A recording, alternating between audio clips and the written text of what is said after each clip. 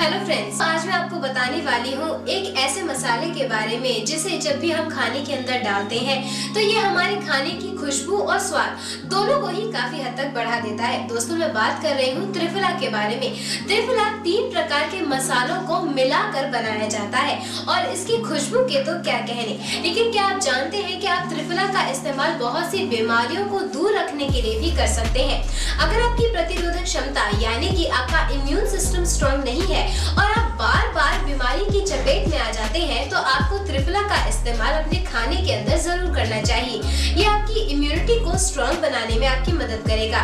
पेट दर्द है तो भी आप त्रिफला के आधा चम्मच पाउडर को पानी के साथ सेवन कर सकते हैं। ऐसा करने से पेट दर्द में काफ़ी ज़्यादा मिलता है। शरीर के अंदर हीमोग्लोबिन की कमी है तो उसे भी ठीक करने के लिए आप इसका इस्तेमाल कर सकते हैं। और आपको ये जानकर हैरानी होगी कि अगर आप त्रिफला का इस्तेमाल अपने खाने के अंदर करते हैं तो ये आपके चेहरे पर एंटी एजिंग तत्वों के साइज़ को, यानी कि अगर बढ़ती उम्र के साथ आपके स्किन पर बारीक लाइंस आने लगी हैं तो उन्हें भी हल्का बनाने में आपकी मदद कर सकते हैं। इसी के साथ साथ आपको ज़रूरत नहीं है कि आपको त्रिफला को किसी चीज़ के साथ कंबाइन करके फेस पैक बनाकर चेहरे पर लगाना है। आप त्रिफला को सिंपल तौर पे अपने खाने के अंदर शामिल करिए और फिर इसका जादू देखिए।